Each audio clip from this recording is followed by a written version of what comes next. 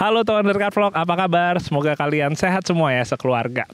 Untuk pertama kalinya, akhirnya gua ngebahas sebuah Nissan Patrol. Dan Nissan Patrol yang ada di samping gua, ini adalah Nissan Patrol generasi keempat. Di mana generasi keempat ini dengan kode Y60 adalah salah satu Nissan Patrol paling legendaris di dunia. Tonton ya ulasannya.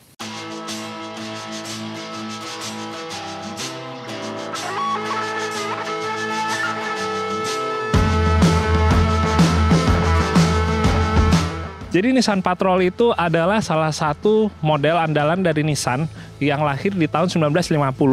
Itu berarti berbarengan ya sama Toyota Land Cruiser. Dan di generasi keempat Nissan Patrol ini, ini dia berhadapan atau bersaingan langsung dengan Toyota Land Cruiser yang seri 80. Ya, ini adalah rivalnya Land Cruiser VX. Kalau kita ngomongin generasi keempat ini, sebenarnya di Indonesia itu memang sudah banyak juga yang mengetahui kehebatannya untuk off-road. Walaupun populasinya di Indonesia memang sangat jarang ya, kalau kita bandingkan sama Land Cruiser. Tapi kalau misalnya di beberapa negara, kayak misalnya di Australia, Nissan Patrol yang Y60 ini menjadi salah satu favoritnya, bahkan hingga sekarang. Kalau di Australia, ini dikenal dengan Patrol GQ ya, karena itu adalah kode yang diberikan di sana GQ untuk patrol setir kanan dan Nissan Patrol GQ ini hingga sekarang menjadi salah satu mobil favorit 4x4 di Australia. Kalau di Indonesia sebenarnya kekurangannya itu karena emang gak pernah masuk secara resmi dan yang kedua kita dari dulu udah mindsetnya lebih ke Toyota ya Land Cruiser. Jadi hanya sebagian orang yang mengerti atau tahu ya kehebatan dari Nissan Patrol terutama yang generasi keempat ini. Kalau ngomongin kisahnya, si generasi keempat patrol ini persis kayak seri 80 di Land Cruiser, teman-teman. Dia itu walaupun umurannya udah berapa tuh? Dia tuh lahir tuh tahun 87, ya berarti udah 30 tahunan ya ada di dunia. Walaupun umurnya udah 30 tahunan, dia tetap sampai sekarang menjadi salah satu yang terbaik ya. Dianggap orang salah satu yang terbaik, yang legendnya gitu. Persis sama kayak seri 80-nya Land Cruiser mau udah ada seri 100, seri 200 tetap seri 80 itu dianggap yang badak banget ya. Dan keduanya ini mereka sama-sama bersaing di era yang sama. Nah, yang kita akan review hari ini ini adalah sebuah Nissan Patrol Y60 tahun 93. Ini adalah milik Pak Sambudi Gusdian, Ketua Umum IOF Pusat ya. Dan ini memiliki konsep yaitu untuk off-road ekspedisi. Sebelum kita ngebahas untuk bagian-bagiannya apa aja yang dimodifikasi, gue sedikit ngasih tahuin lagi nih tentang off-road ekspedisi. Karena sekarang lagi rame off-road yang overland, banyak juga yang agak bingung nih antara ekspedisi dengan overland bedanya apa. Kita lihat ya dari yang ekspedisi ya. Jadi untuk ekspedisi itu, itu adalah off-road adventure yang dia secara tracknya itu lebih berat. Jadi bukan cuma tracknya lebih berat, biasanya dia waktunya atau durasinya lebih lama bisa berhari-hari, berminggu-minggu gitu. Dan itu kita ngomongin full off-road ya. Nah, off-road ekspedisi itu modifikasinya memang lebih berat atau lebih ekstrim. Kayak misalnya penggunaan ban lebih besar dan yang tipenya ekstrim. Terus juga kalau teman-teman lihat, kalau di off-road ekspedisi itu jarang yang pakai roof tent. Ya walaupun ada juga ya. Jarang yang pakai roof tent, lebih roof rack aja. Terus nggak pakai awning karena kalau di off-road ekspedisi itu perjalanannya lebih ekstrim, lebih berat. Kita kalau misalnya taruh kayak misalnya owning di sini, yang ada itu nanti pada ini ya, pada bonyok semua tuh, bisa kena ranting dan segala macem. Karena itu dia, kondisinya medannya lebih ekstrim. Terus juga kalau misalnya di off-road ekspedisi ini, untuk kita ngomongin tendanya, dia lebih banyak pakai tenda dom gitu ya, atau tenda velvet. Karena di ekspedisi, kita campingnya itu lebih ke arah untuk istirahat, karena udah malam dan besok pagi mesti lanjut off road lagi. Beda sama overland yang dia terlihat lebih fancy, lebih menarik untuk perkempingannya karena tujuan utama overland salah satunya adalah ya untuk camping ya, camping, barbecue. Beda sama ekspedisi yang emang dia itu exploring daerah, pindah daerah, pindah daerah dan medannya berat. Oke, kita langsung lihat aja ya. Kita mulai dari depan. Kita mulai dari bagian depan yang langsung terlihat adanya bumper custom ya yang modelnya pipa-pipa terus ada winch yang ukurannya cukup besar ini sekilas seperti Warren M8274 tapi ini sebenarnya adalah keluaran dari Giggle Pin Ini adalah winch Inggris, di mana winch ini menjadi salah satu winch yang mungkin sekarang dibilang paling sakti juga ya. Salah satunya, dia itu motornya menggunakan dua buah. Biasanya kalau winch yang 8274 itu kan dia single motor, tapi ini double motor. Double motor itu bukan meningkatkan kecepatannya, tapi meningkatkan daya tariknya. Kalau daya tarik kayak kesannya kayak untuk memikat wanita ya. daya tariknya yang dia lebih kuat lagi. Terus dia drumnya lebih panjang, teman-teman. Jadi kalau misalnya kita menggunakan seling yang lebih panjang itu bisa terakomodir. Sementara kalau pakai seling panjang dengan drum yang kecil, dia yang ada gulungannya terlalu tebel. Sementara satu hal yang pasti, kalau gulungan winch makin tebel, kekuatan tariknya itu akan berkurang. Itu dia kenapa lebih baik drumnya itu diperbesar. Seperti di drum giggle pin ini. Dia udah pakai yang model plasma, jadi udah jauh lebih safe ya, relatif lebih safe. Terus untuk bumpernya ini full pipa semua dan ini dibikin sendiri di workshopnya Pak Sam. Ada di daerah Malang. Menurut gue sangat menarik dari mulai pengelasannya semuanya rapi. Terus desainnya emang kelihatan kayak gede banget gitu ya. Tapi sebenarnya secara bobotnya nggak terlalu berat kalau kita bandingkan sama model yang bulbar. Begitu lanjut ke samping, kita ngelihat ada yang namanya sidebar. Sidebar itu langsung tergabung ya dari bumper depan nyambung ke footstep. Ini bisa dilepas ya, jadi dia knockdown. Jadi sewaktu-waktu emang pengen dilepas untuk bumper depan atau bagian footstepnya itu bisa. Ini footstepnya kan langsung menuju ke sasis ya, nempel ke sasis. Dia sekaligus juga untuk melindungi dari misalnya ada pohon atau ada batu supaya nggak kena langsung ke bagian body. Terus dari footstep di sini nyambung lagi ke sidebar yang bagian belakang, teman-teman. Sidebar sini terus ke atas nyambung ke roof rack yang sebenarnya ini sekaligus juga untuk roll cage. Kalau kita ngomongin roll cage di luar seperti ini, sebenarnya ini ada plus minusnya teman-teman. Kalau untuk plusnya atau kelebihannya, karena posisinya di luar, di bagian dalam itu lebih lega ya, nggak ada palang-palang besi yang melintang. Terus kalau ditaruh di luar, itu sekaligus juga untuk melindungi body ya. Kita lagi dempetan sama pohon, sama batu, dia semua bisa ngelindungin bagian bodinya. Karena ya bagian ini ya, yang akan terkena duluan. Bahkan ini sampai bagian belakang, ini untuk bumpernya juga dia ke samping sini untuk melindungi bagian pipi fender belakang ya. Karena ini bagian yang rentan juga kalau lagi off-road sering terkena. Mau tebing, batu, dan lain-lain. Tapi kalau untuk kekurangannya, kalau ditaruh di luar ini sebenarnya secara kekuatannya sedikit lebih berkurang ketimbang kita taruh di bagian dalam. Karena kalau taruh di bagian dalam itu bisa lebih dekat ke arah sasis ya. Sementara kalau dari luar gini dia harus membelok lagi ke dalam. Tapi ya relatif juga sih ya kalau kita ngomongin untuk off-road ekspedisi. Karena off-road ekspedisi itu nggak terlalu kecepatan tinggi, nggak seperti kita lagi balap off-road atau balap lainnya. Jadi kalau roll cage di luar gini, ini masih dibolehkan. Bahkan banyak yang bikin roll cage di luar tapi kalau udah untuk yang full kompetisi, itu roll cage-nya harus pakai yang posisi di dalam. Bagian belakang untuk ban serepnya dia menggunakan tire hanger ya. Jadi taruhnya persis di bagian pintu belakang. Karena kalau ekspedisi gini pakai ukurannya yang gede ya bannya ya, 35 inch, 37, itu udah otomatis driver dari dalam dia udah nggak bisa lagi ngeliat ke spion tengah ya. Karena pas dia ngeliat ke belakang ketutupan sama ban serep. Tapi nggak apa-apa, kalau ban serep ditaruh di sini kelebihannya adalah di bagian dalam itu lebih uh, saving tempat banget ya karena nggak ada ban serep gitu. Tapi kalau ditaruh belakang gini ya kekurangannya dia agak sedikit menambah untuk departure angle-nya ya karena terkadang masih suka mentok juga sedikit kalau kena kayak misalnya ada turunannya yang benar-benar curam. Di bawahnya masih ada winch tambahan untuk yang belakang. Ini mereknya Four Winch, kurang lebih bisa sekitaran 5 ton untuk bobotnya. Terus juga di samping gua ini ada tatakan untuk meletakkan jerigen. Ini kalau gue lihat ukurannya bisa buat dua jerigen yang masing-masing 15 liter. Jadi bisa nambah 30 liter untuk tambahan bensin. Di bagian atasnya ini ada roof rack teman-teman.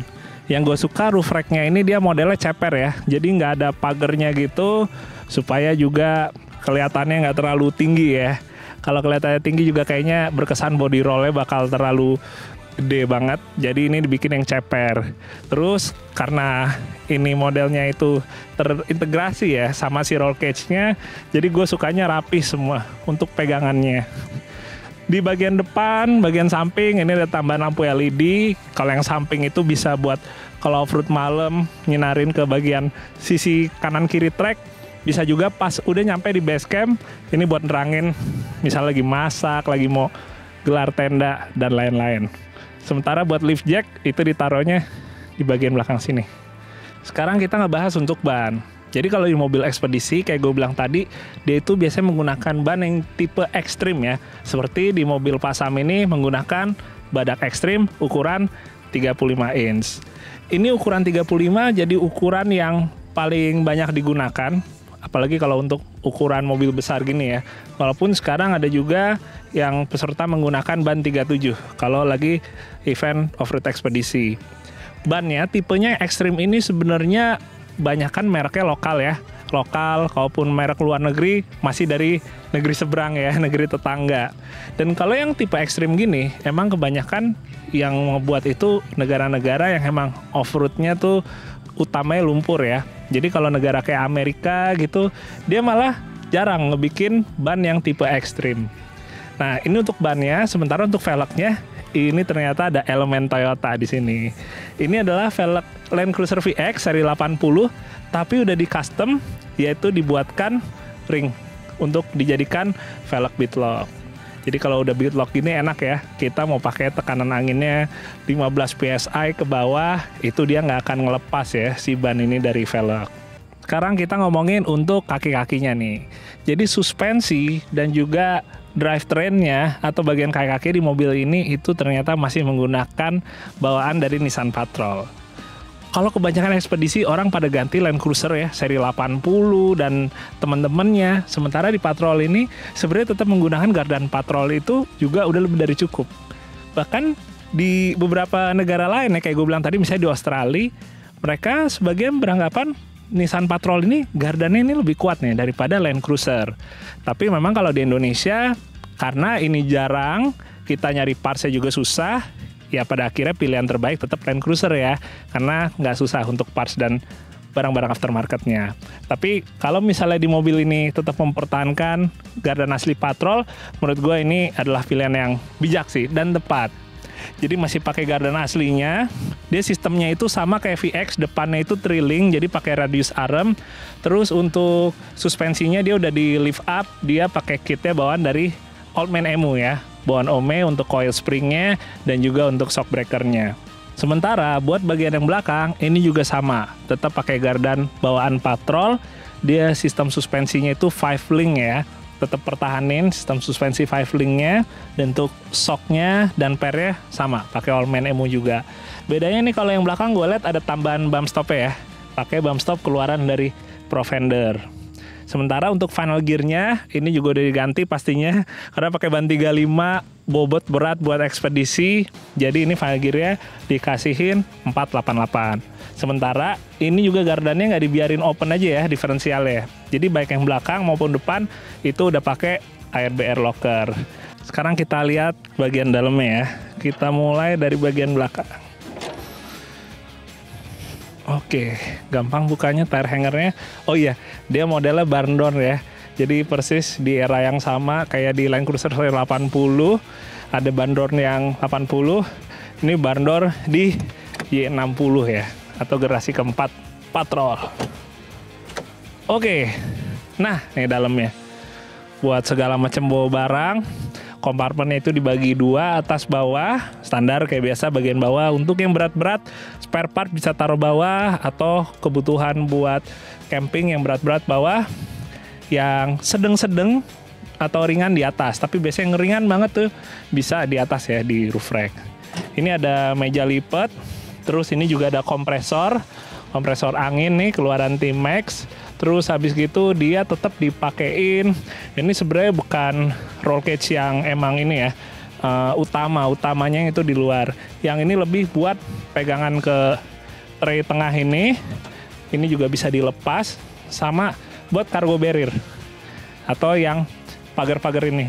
Ini jadi persyaratan wajib ya, di mana kalau misalnya kita off-road, mau ekspedisi atau enggak, cargo barrier ini wajib untuk memisahkan ruangan barang sama ruangan orang. Jadi kalau misalnya lagi mobil turunan gitu apa, barang-barang nggak ada yang kepental sampai ke depan. Assalamualaikum. kita belum di depan teman-teman. Kita ke jok tengah dulu ya. Di jok tengah ini kenapa masih ada jok? Karena emang kalau ekspedisi itu kita uh, bisa bawa kru tambahan ya. Jadi misalnya tambahan untuk mekanik itu itu bisa di belakang. Terus ini yang menarik teman-teman. Ini ada helm, ada beberapa. Ini helmnya sebenarnya bukan helm untuk kompetisi ya. Ini kayak helm-helm sepeda gitu. Dia helm itu sebenarnya berfungsi.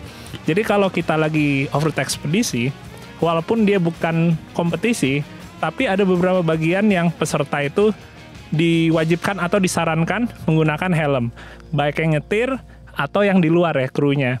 Misalnya ada yang obstacle yang berbahaya gitu disarankan pakai ini pakai helm ini. Jadi emang bukan untuk balapan ya, tapi untuk tambahan safety pas kita ketemu halang rintang yang berbahaya. Oke, kita ke depan sekarang. Dan begitu ke bagian depan, nah baru deh kerasa deh nikmatnya sebuah Nissan Patrol. Di generasi yang sama kayak di Land Cruiser seri 80, emang desain dashboard patrolnya tergolong tua banget ya ngotak. Tapi sebenarnya gue malah suka banget ya dari mulai untuk indikator di bagian depan sini, terus juga untuk panel-panel AC semuanya gue suka banget. Udah masuk ke tahun 90-an, tapi klasik-klasik 80-an itu masih tetap kental. Beberapa bagian yang tetap ada jadi ciri khas di mobil-mobil 4x4 kayak ada pegangan di sebelah kirinya nih tetap ada. Nah ngomong-ngomong, patrol ini dia pakai transmisi manual teman-teman dia 5 speed dan untuk transfer case-nya itu dia part time ya. Dia 2H, 4H, terus kita pencet ke belakang itu jadi 4L. Tengahnya konsol box-nya juga lebar ya. Di sini konsol box-nya dia udah dimodif, jadi ada untuk urusan locker ngaktifinnya di sini, untuk ngaktifin untuk seling winch-nya ngoperasiinnya juga di sini, tarik ulurnya, winch depan, winch belakang itu di sini. Terus bagian sini gue suka panelnya juga rapi. Dia untuk urusan lampu semua segala macam ngaktifinnya sini. Terus untuk joknya ini tetap dia ada tambahan 4 titiknya ya. Safety emang selalu diutamakan. Emang bukan mobil balap, tapi kita pun yang nggak balap kadang-kadang off-road ketemu medan yang cukup ekstrim di mana lebih baik pakai seat belt 4 titik. Walaupun kita lagi nggak balap. Sekarang kita bahas untuk mesinnya. Jadi di patrol ini tetap menggunakan mesin bawaannya teman-teman, yaitu TD42. Diesel 6 silinder 4200 cc dan non turbo. Tenaga sekitar 113 HP dengan torsi 264 Nm. Sebenarnya nggak terlalu besar, tapi emang mesin ini diciptakan lebih untuk kerja ya. Kalau di Land Cruiser, ini temennya itu sama satu HZ dia kurang lebih hampir sama untuk spesifikasinya walaupun powernya di satu HZ sedikit lebih besar dan sedikit lebih badak juga ketimbang di TD42 ini. Yang di mobil Pasam, ini mesin TD42-nya semua relatif standar, hanya disegerin aja untuk internalnya, paling modifikasinya itu untuk alternator. Jadi alternatornya yang bawaannya tetap dipakai, tapi ada tambahan alternator 140 ampere di bagian atasnya karena supply listriknya kan besar ya. Dari winch yang dual motor terus juga untuk kebutuhan winch belakang aksesoris yang lain.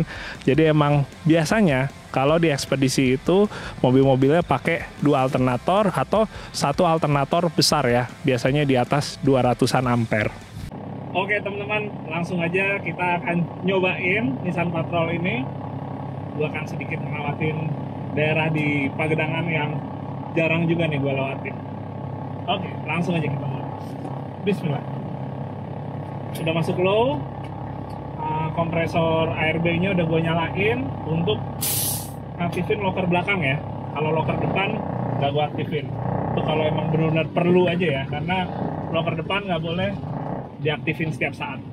Oke, Bismillah.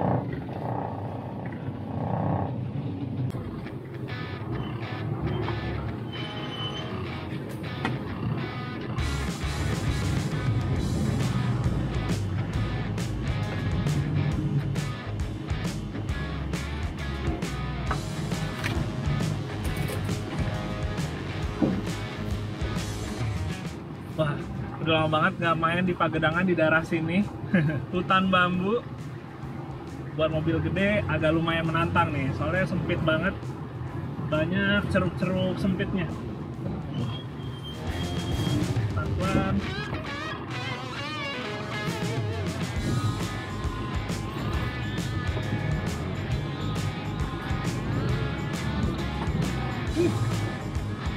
kangen juga main ceruknya agak sempit lagi nih, V di depan nih. Kita tuh, Bismillah.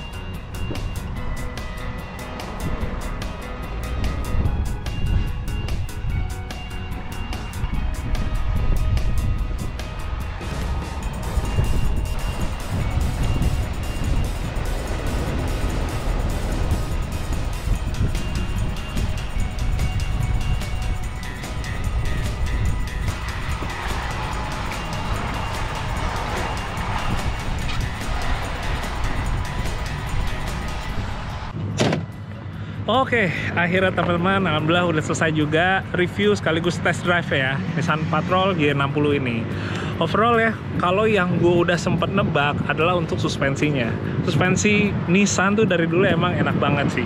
Nggak salah juga kalau misalnya di Australia sebagian bilang kalau misalnya Patrol Y60 ini suspensinya lebih nikmat daripada Land Cruiser seri 80 tapi relatif juga ya karena kalau kita ngomongin mobil yang udah dimodifikasi suspensi ya faktor X nya juga banyak. Tapi kalau misalnya di mobil ini gue rasain di lift up suspensi kita pakai OME itu lebih dari cukup. Buat mesin ya TD42 mesinnya lebih enak di Land Cruiser ya. Land Cruiser yang pakai 1 HZ karena pembandingnya itu dengan Land Cruiser 1 HZ Uh, tapi lebih dari cukup sih sebenarnya kalau misalnya kita kebutuhannya emang sekedar untuk ngincer udah santai jalan-jalan ekspedisi gitu walaupun nggak bisa ngebut tapi tetap bisa diakalin dari rasio gear yang pas. Sisanya lagi menurut gue sih ya udah pas ya untuk ekspedisi ban 35 apa pun yang nempel di sini semuanya fungsional. Dan yang pasti satu lagi kalau misalnya gue ngomongin untuk adventure ya pakai mobil yang besar diesel wheelbase-nya panjang lebih nggak capek lebih nikmat oke semoga video bermanfaat kalau teman-teman ada yang pengen tahu lebih jauh lagi tentang Nissan Patrol gue berencana dalam waktu dekat akan komparasi Patrol yang Y60 seperti ini dengan Land Cruiser yang seri 80 keduanya itu adalah legendnya di merek masing-masing dan gue akan coba komparasi dari mulai mesin, suspensi, dan kawan-kawan lainnya. Oke teman-teman, sehat semua sekeluarga ya. Sampai ketemu lagi. Dadah, Assalamualaikum.